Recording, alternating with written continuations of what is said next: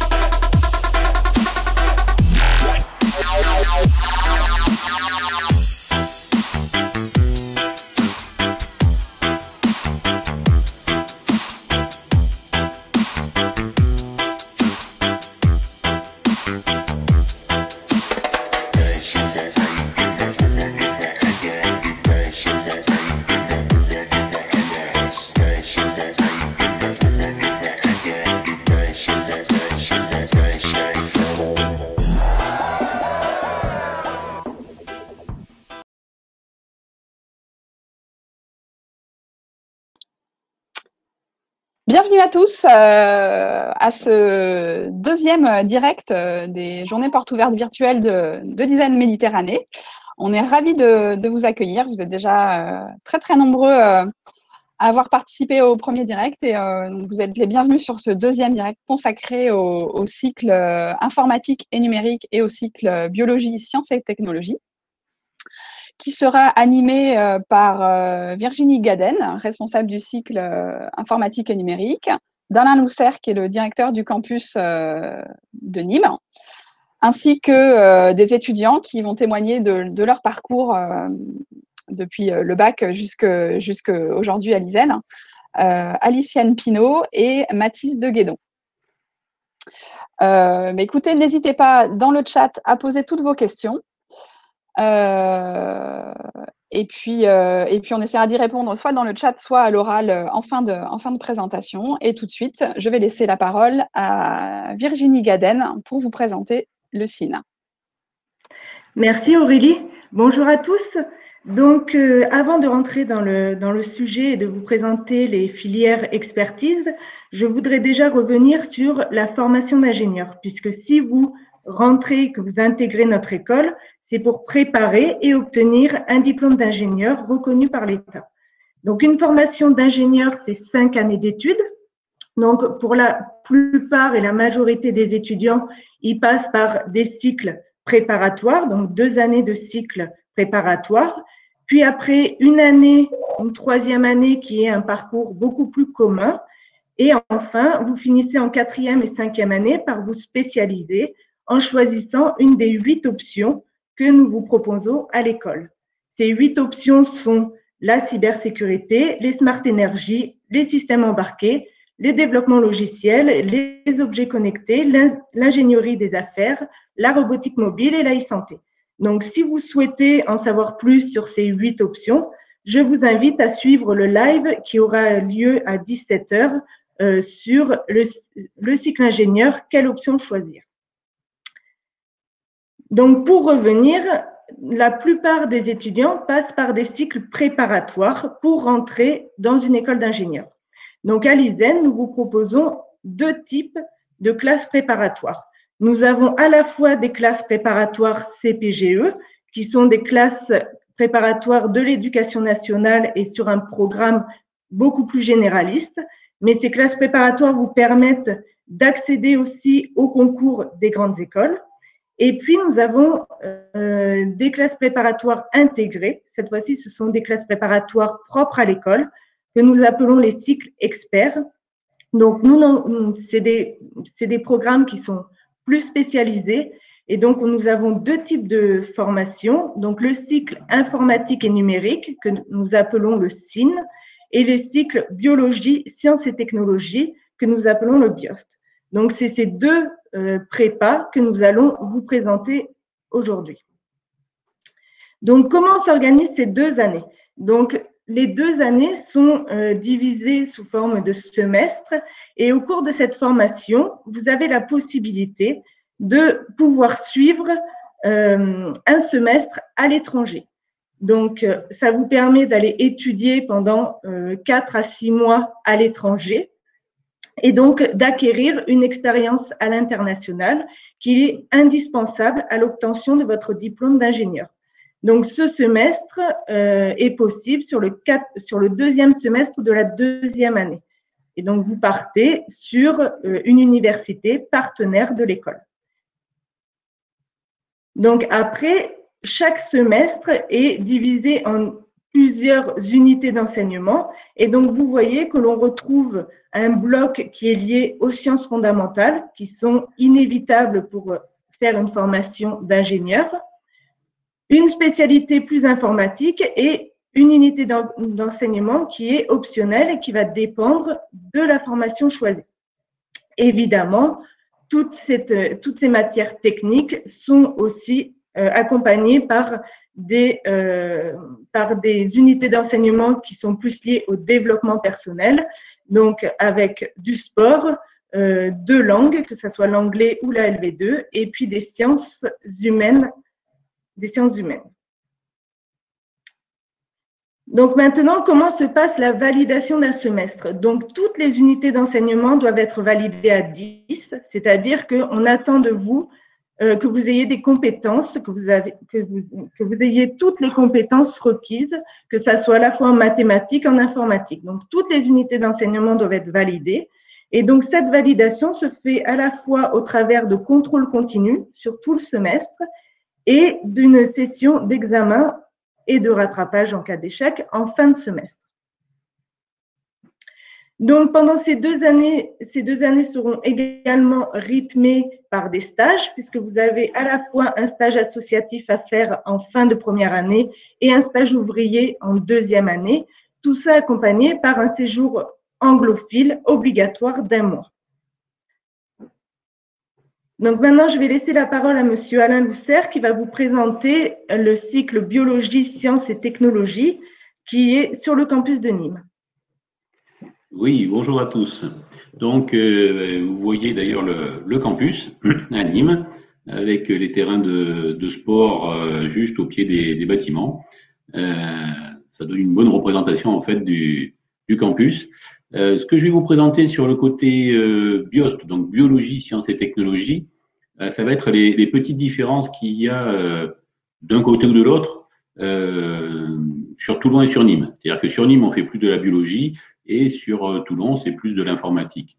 Mais il y a quand même beaucoup d'informatique, vous inquiétez pas, et beaucoup de, parties techniques, comme l'a dit Virginie, sur, sur le BIOST. J'ai continué normalement à, vous mettre quelques images. Donc ça, c'était euh, les images de la rentrée. Alors ça fait pas très plaisir parce que tout le monde a le masque et on essaye de se tenir à distance.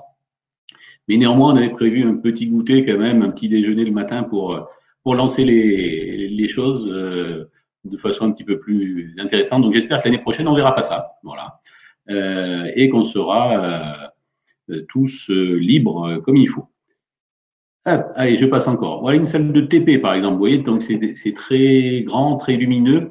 Et surtout, ce qu'on essaye de, faire, c'est en ça où je veux aussi un petit peu euh, rassurer les, parents, euh, c'est que bien que les salles soient très grandes, vous voyez déjà qu'on a des, des, configurations beaucoup plus en U euh, pour que tous les élèves soient euh, en vue directe du tableau et à, la même, distance, si vous voulez, au même degré de dignité, comme on pourrait dire dans, certaines matières. Euh, le prof, euh, il n'est pas en face des élèves pour donner son cours, il est au milieu et euh, il peut discuter avec eux. C'est un petit peu, un petit peu la, différence avec de, très grandes salles. Après, euh, lors des, témoignages, euh, Aliciane, qui est de, Nîmes, pourra vous, vous expliquer un petit peu plus sur certains points. N'hésitez pas non plus à poser des questions dans le chat, comme ça on peut vous répondre au fur et à mesure. Allez, je passe. Donc, les petites spécificités. Donc, vous voyez, je vous disais que maths, physique, informatique, c'est quand même un socle très important. Euh, néanmoins, le côté euh, biologie et chimie agro, ça fait quand même un quart. Donc, vous avez quand même, donc, vous allez acquérir les mêmes compétences euh, que par un, autre biais, une autre voie sur le côté des matières scientifiques. Par contre, sur les aspects qui sont spécifiques, comme la biologie, vous allez vous, c'est ce que vous aimez, donc vous allez progresser là-dedans, et néanmoins, vous aurez tout ce qu'il est nécessaire, toutes les briques de base nécessaires pour attaquer la première année du cycle ingénieur, hein, la troisième année, euh, au même niveau que, enfin, même niveau, avec les mêmes compétences que les autres. Avec une, vous voyez aussi, il y a une grande, quand même, euh, part de camembert pour les communications et la langue, parce que le côté euh, formation humaine, pour nous, est très important. Voilà. Donc, on pourra revenir sur ces points si, vous voulez. Après, il y a la possibilité aussi d'avoir des, euh, des entretiens individuels si nécessaire. Donc, les promotions, donc ben, filles, garçons cette année, filles, garçons, c'est 50-50. Euh, c'est bien réparti. Alors, ça aurait pu être 51-49. Euh, là, actuellement, on est plutôt sur 50-50. Euh, on ne l'a pas fait obligatoirement exprès. Hein. c'est tombé comme ça. et par contre, il n'y a pas de, de difficulté de, en disant, ben voilà, c'est une classe qui fait, je sais pas moi, 48 élèves, et puis ben, s'il y en a déjà de filles, on va pas prendre d'autres filles. Non, non, on travaille par groupe de TD de, 24 max, et puis on ouvre autant de, blocs qu'il est nécessaire. Donc il n'y a, aucun souci de ce côté-là. Et vous voyez que le recrutement, il y a beaucoup de bacs S, euh, des bacs STL et des bacs ES aussi. Enfin, bac ES, non, c'est pas c'est, pas la bonne version, excusez-moi. C'est bac STI 2D et bac STL. La version qui est mise là n'est pas celle qui avait été corrigée. Euh, voilà. Donc, il y a effectivement des, des STI du D. Alors, est-ce qu'il, je, je, réponds en direct du coup. Hein. Est-ce qu'on doit obligatoirement avoir l'option SVT en première ou en terminale? Non, pas obligatoirement.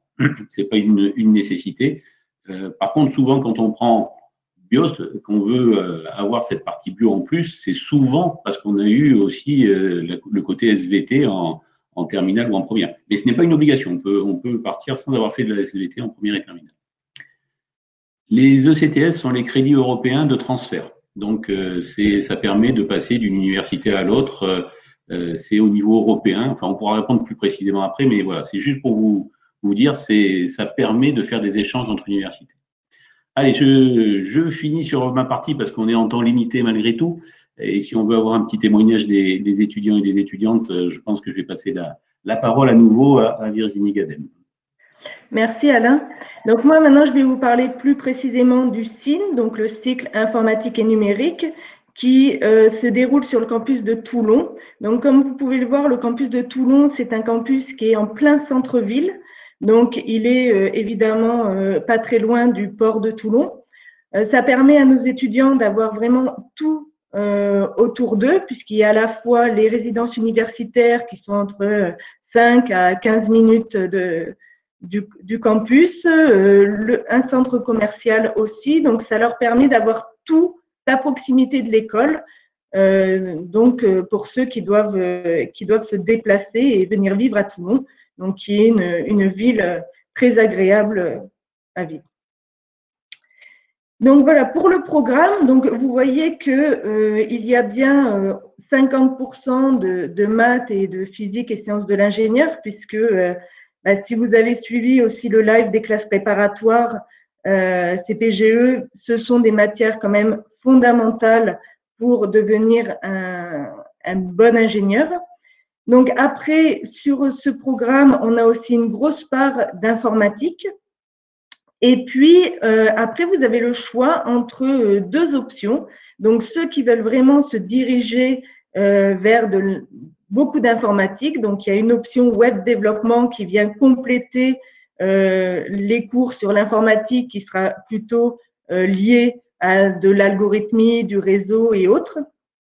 Et puis, une autre option qui est une option euh, biologie. Et donc, ça, c'est pour les étudiants qui souhaitent à la fois faire de l'informatique et de la biologie et qui euh, souhaitent euh, travailler euh, à, cheval sur tout ce qui est le biomédical. Donc, le SIN cette année en quelques, en quelques chiffres, donc c'est une promo de 103 étudiants. Donc, je vous rassure, euh, vous n'êtes pas 103 euh, toute la journée ensemble, puisque après, les, les enseignements sont dispensés par groupe de 24, comme l'a dit Monsieur Lousser. Donc, donc, c'est vraiment des, des petites classes pour, pour nous permettre de vous accompagner au mieux dans, dans ces études. Donc, la répartition, bah, nous, on est quand même beaucoup plus majoritairement une formation beaucoup plus masculine, puisqu'on a 86% de, garçons et seulement 12% de filles cette année. Euh, la répartition donc des bacs, donc c'est majoritairement euh, anciennement les bacs S, maintenant les bacs euh, généraux, et on a quand même un quart de bac STI 2D. Et puis la répartition des élèves, donc vous voyez qu'on n'a que 45% des élèves qui proviennent de l'aire toulonnaise, et donc tout le reste de la promo donc proviennent soit de, départements limitrophes ou soit complètement d'autres départements que le, que le 13 ou euh, le 83. Donc, vous voyez que si vous êtes amené à prendre, à prendre un logement, une résidence universitaire, à, voilà, à, venir vivre seul euh, à Toulon, ben, vous n'allez pas être seul parce qu'il y a énormément de collègues de promo qui vont être dans cette situation-là et euh, que vous allez retrouver aussi au sein des résidences universitaires. Donc voilà, il n'y a pas de, voilà, faut pas être inquiet. Vous allez vraiment pas vous retrouver euh, seul sur, euh, sur Toulon. Donc maintenant, je vais laisser la parole euh, au témoignage des étudiants. Donc, je vais laisser la parole à Aliciane. Honneur aux filles. Donc, bah, bonjour à tous. Je m'appelle Aliciane Pinault et je suis actuellement en classe de BIOS 2, donc en deuxième année, sur Nîmes, du coup. Euh, pour ma part, euh, j'ai découvert l'école, euh, en cherchant, quand j'étais en bac S du coup, sur, bah, sur Parcoursup, en découvrant le concours Alpha qui permettait d'accéder aux différentes écoles de Nîmes, de l'ISEN et cependant quand moi je l'ai passé, l'école de Nîmes n'était pas encore sur le concours, je l'ai donc passé par entretien. Mais, j'ai aussi passé le concours Alpha pour, essayer d'entrer sur les différentes écoles de l'ISEN. Mais c'est Nîmes qui me plaisait le plus et je suis très contente de mon choix parce que, bah, les cours me plaisent, le surtout ceux de biologie. C'est aussi pour ça, du coup, forcément que je l'ai pris. Je m'intéressais aussi à l'informatique, donc le fait de pouvoir commencer à découvrir l'informatique m'a beaucoup plu. Euh, les profs sont vraiment à l'écoute, on est très encadré. Puis il y a aussi pas mal de TP, euh, surtout en biologie, qui peuvent être assez intéressants. Et euh, bah, si vous avez des questions, n'hésitez pas dans le chat. Hein. Mais euh, sinon, c'est une école qui me plaît vraiment. Et c'est vrai que je l'ai un peu découvert par hasard en cherchant les différentes écoles possibles. Et une fois que je m'y suis penchée, j'ai été très intéressée. Euh, je regrette pas du tout mon choix. Voilà. Donc, si vous avez des questions, n'hésitez pas. Est-ce que tu, tu, peux nous en dire un petit peu plus sur, euh, sur la vie étudiante, comment se, se déroule une semaine, une semaine de cours, etc. Bah, actuellement, on a un confinement, mais tous les cours sont quand même assurés par les professeurs. Mais sinon, une journée typique, bah, on a pas mal de biologie quand même. On a 6 heures par semaine. Il y a pas mal de maths quand même, mais on a différents professeurs, du coup, c'est quand même assez varié. On a deux professeurs différents, avec chacun on fait quatre et deux heures, qui du coup, euh, on n'étudie pas tous les mêmes choses. Cette année, par exemple, ça va être des statistiques, et à côté, plus euh, tout ce qui est fonction suite. Et après, on a aussi euh, une matière qui est spécialisée pour les écoles, de, les prépas intégrés, qui est du coup FHES, qui est pour nous apprendre comment on va travailler en entreprise, nous apprendre comment on va pouvoir se débrouiller dans ce milieu assez facilement. Ensuite, sinon, sur la vie étudiante en elle-même, on a euh, tout ce qui est le PDE, donc qui va nous aider à sociabiliser un peu avec tout le monde parce qu'ils vont organiser pas mal de soirées, d'événements, que ce soit la patinoire ou laser game, avec qui on pourra du coup rencontrer des gens de l'école et même de d'autres milieux du coup. Et aussi tout ce qui est l'association sportive à l'école, donc pareil, qui mettent en place différents sports. Et en prépa à l'ISANIM aussi, on a les cours de sport où on est avec pas mal de monde. Du coup, voilà. Ok, ben merci Aliciane. Euh, on va donner la parole maintenant à Mathis de Guédon, qui, euh, est étudiant donc, euh, sur le campus de Toulon. À toi, Mathis. Bonjour à tous, je suis en SIN en seconde année et je suis rentré à l'ISEN en 2019. Au départ, je me demandais si c'était la bonne école pour moi, mais je me suis rendu compte qu'au final, bah, ça l'était vraiment parce que euh, j'ai fait SP Math et donc j'ai toujours aimé les matières scientifiques et euh, on nous en donne en SIN. Mais parce qu'on les met vraiment très en avant. Mais il y a aussi les, les matières, on va dire, secondaires, comme la SHES, sciences humaines, économiques et sociales, qui nous apprennent, comme Elicienne l'a dit, à être en quelque sorte un bon ingénieur. Mais il y a aussi l'anglais qui est mis très en avant c'est pas comme euh, l'anglais de terminal où on nous apprend à, argumenter sur un sujet comme euh, lieu et forme de pouvoir. C'est vraiment euh, pouvoir pouvoir parler avec quelqu'un dans, dans des conditions, on va dire, normales. Il y, a, y a quelque chose que j'ai vraiment apprécié à l'ISEN, c'est tout ce qui est centré autour du BDE car euh, le BDE nous permet en quelque sorte, vu qu'on passe euh, beaucoup de temps dans les salles de classe, il nous permet de, faire des activités, on va dire, d'étudiants. Euh, je prends par exemple comme exemple le, week-end d'intégration, qui, est, génial, où il y a des étudiants de Toulon, mais aussi de Nîmes et de Marseille qui euh, sont réunis dans un camping pour euh, deux, trois jours de, de fête. Euh, ils nous, ils, lors de la première année dans laquelle j'étais, ils ont, par exemple, organisé une sorte d'escape game dans tout le bâtiment.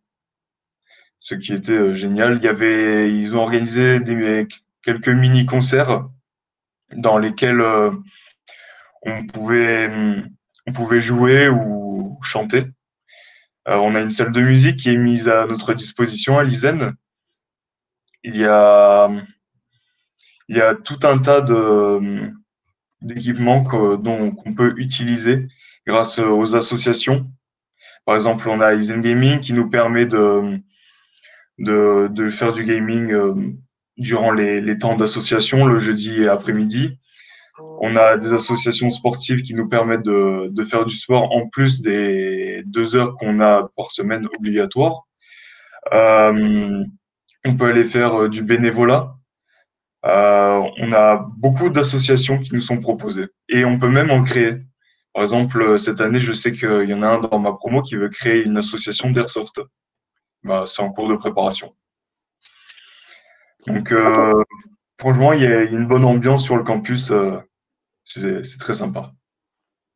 Merci Mathis. Euh, juste pour préciser, euh, au niveau associatif, les jeudis après-midi sont consacrés vraiment à ces activités-là qui, font finalement partie intégrante du cursus. C'est important de, travailler. Les, cours sont, sont assez sérieux. Il faut, il faut fournir du travail, mais euh, à l'ISEN, c'est aussi important de, se sentir bien, d'avoir des amis, euh, d'avoir une vie sociale. Euh, et, c'est pour ça que, tous les jeudis après-midi sont dédiés vraiment à ces activités. Et on a une, trentaine de, clubs et associations qui sont, bah, comme tu l'as expliqué, Mathis, sur un petit peu tous les, tous les goûts de sport, d'art, de musique, etc. merci à toi pour ce petit état des lieux. Euh, est-ce qu'on a quelques questions auxquelles on pourrait répondre? Euh, J'ai vu passer une question sur les cours confinés. Euh, peut-être que vous pouvez répondre soit Aliciane, soit Mathis. Alors, on espère que ça ne dure pas éternellement. Mais bon, voilà, la question se pose. Donc, je vous laisse y répondre.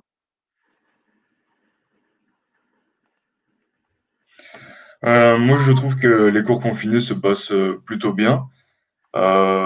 Euh, si on a une bonne connexion Internet, euh, bien évidemment. Euh, parce qu'on a... Alors, c'est un peu plus compliqué de suivre, mais en contrepartie, on a ben, tout... On a, tous, les, tous les fichiers que, par exemple, on ne pourrait pas avoir en cours, par exemple, les exercices corrigés que l'on n'aurait pas pris, ben, ils nous sont donnés par les professeurs à la fin du cours. Euh, après, je dirais euh, pour euh, bon, on n'a pas de, cours de sport. Euh, qu'est-ce qu'il y a d'autre? On fait beaucoup plus d'oral du coup durant les matières, les langues vivantes. Et sinon, rien de spécial à dire. Ok, Ben, merci. Euh, alors, on avait une question aussi, et puis après, je, redonnerai la parole à, Virginie pour le, processus d'admission. Euh, alors Aurélie, je vais revenir un peu sur des questions du chat. Donc, euh, il y a beaucoup de questions sur la LV2. Donc, oui, la LV2 est, obligatoire sur les, deux, les trois premières années du, de formation d'école. Euh, la LV2, il faut vraiment pas la voir comme euh, ce que vous faites euh, actuellement au lycée. Donc évidemment, c'est vraiment pour entretenir, puisque aujourd'hui, ce qui peut faire la différence après votre cinquième année et après l'obtention de votre, diplôme, c'est aussi le, nombre de, langues que vous êtes capable de parler. Euh, puisqu'à l'heure actuelle, tous les ingénieurs parlent anglais. Et donc, d'avoir une LV2, ça peut faire la différence aussi. Euh, c'est aussi pour vous permettre bah, d'aller étudier euh, dans des échanges Erasmus. Donc, de ne pas perdre ce, niveau-là si vous avez un bon niveau en, sortie de terminale. Et puis, évidemment, vous pouvez changer de, langue puisque les cours de LV2 se font par groupe de niveau. Donc, euh, on en a beaucoup qui, euh, bah, qui passent et qui choisissent le japonais, le chinois pour s'ouvrir à une autre langue et donc à une autre culture. donc voilà, il faut vraiment pas le voir comme une comme ce que vous faites actuellement au lycée. C'est vraiment pour voilà pour une ouverture d'esprit et savoir s'exprimer dans une autre langue que l'anglais. Donc après, donc voilà, comme l'a dit Aurélie, la plupart et Mathis, la plupart des cours se font euh, en distanciel euh, à l'heure actuelle. Donc euh, j'espère que ça va vite changer parce que ce n'est pas facile pour, pour tout le monde. après, donc on avait aussi quelques questions sur les sur les options. Donc en fait les, les options de, de terminale il faut savoir qu'il euh, faut obligatoirement avoir pris maths euh, en première. après, si vous n'avez pas pris physique en terminale, ce, n'est pas très grave puisqu'en fait, on va reprendre et avoir tout un premier semestre ou quart de semestre qui va être dédié à une homogénéisation des, connaissances pour vous permettre d'après de bien suivre le, programme. Donc, euh, je dirais que bah, la combinaison d'options euh, qui est la meilleure pour intégrer l'école, c'est évidemment de, prendre maths physique en terminale et maths expert. Ça, c'est vraiment la combinaison idéale. Euh, maintenant, ne vous en faites pas si vous n'avez pas cette combinaison-là ou si vous, faites, voilà, si vous avez pris plutôt l'option euh, SI euh, ou autre. Euh, voilà, il n'y a aucun problème. Il y aura toute une remise à plat dès le, dès le, premier, dès le premier semestre. Donc après, il n'y a pas d'obligation d'avoir l'option SVT non plus pour suivre les cours de biologie. Donc parce que tout est repris en fait à zéro et donc voilà, pas d'inquiétude là-dessus. on a le droit de, de changer d'avis de, se passionner pour d'autres choses. Et, et euh, c'est pas parce que vous n'avez pas pris SVT en terminale que vous allez avoir des, des difficultés. Voilà, il suffit d'être euh, passionné, d'avoir envie et euh, voilà, tout se, tout se passe bien après. Donc moi, je vais revenir également sur bah, comment nous rejoindre. Donc, il faut passer par le concours Puissance Alpha. Donc, s'inscrire sur Parcoursup et passer par le concours Puissance Alpha. Donc, cette année, le concours, c'est euh, un recrutement euh, uniquement sur dossier, puisqu'il n'y aura pas d'épreuve écrite.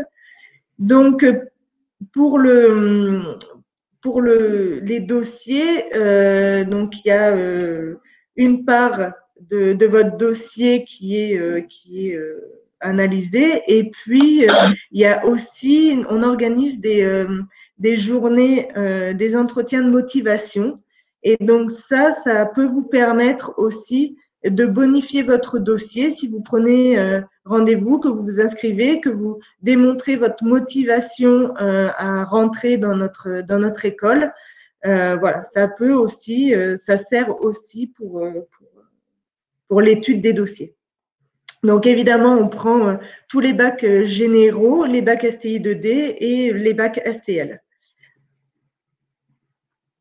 voilà. Après, donc j'ai vu une question euh, sur les langues encore. Donc euh, oui, il y a du russe. Donc toutes les langues, euh, les deuxièmes langues enseignées à l'ISEN. Donc on a le russe, le chinois, le japonais, l'allemand, l'italien et l'espagnol. Donc vous avez le choix entre toutes ces, toutes ces langues. Alors, ce que je vais, proposer maintenant, parce qu'on est un peu limité en temps, euh, c'est euh, de continuer la discussion euh, sur des rendez-vous visio en privé, si vous avez d'autres questions. on a toute une équipe, soit d'étudiants, soit d'enseignants, qui sont à votre dispo sur la plateforme de la journée porte ouverte virtuelle. donc, n'hésitez pas à, à, prendre des rendez-vous. C'est des petits rendez-vous de 15 minutes. Donc euh, voilà, euh, vous avez deux, trois questions, n'hésitez pas. Ils sont là pour ça. Euh, et puis n'hésitez pas aussi à, suivre notamment sur les questions d'international et de stage ou de cycle ingénieur nos conférences de cet après-midi. On va vous remettre les liens dans le chat pour que, pour que vous puissiez y retourner sans problème. Euh, et puis voilà, si vous avez Virginie, euh, Alain, un petit dernier mot. Euh, merci à, nos deux étudiants d'avoir d'avoir accepté de, témoigner. et puis bah, je vous laisse la parole, Virginie ou Alain, pour, pour la petite conclusion. Et merci à vous. Vas-y, Virginie. Merci à tous d'avoir suivi ce, live. évidemment, n'hésitez pas à nous, à nous recontacter hein, si vous avez des questions qui, qui apparaissent ou que voilà, vous souhaitez des réponses, vous pouvez évidemment, comme l'a dit Aurélie, euh, prendre rendez-vous sur euh, les euh, sur les visios ou après nous contacter aussi par par mail, que ce soit le service recrutement ou, ou, moi-même. Voilà. Et sur les questions spécifiques ou plus spécifiques sur Nîmes ou la bio, vous n'hésitez pas, vous me, vous me contactez directement aussi. Et puis, ce qu'on espère euh, tous, c'est que on va finir avec ce confinement et on espère que vous puissiez même nous voir physiquement pour, euh, pour voir les, les beaux bâtiments euh, que l'on a et le plaisir de se rencontrer en présentiel. On, on croise les doigts pour pouvoir faire des, des, vraies journées portes ouvertes sur site, sur les campus au mois de mars. Voilà. Bah, merci à tous pour, pour, votre attention et puis bah, bonne journée porte ouverte virtuelle à l'ISEN. Merci à tous. Merci à tous. Merci. Au revoir. Au revoir.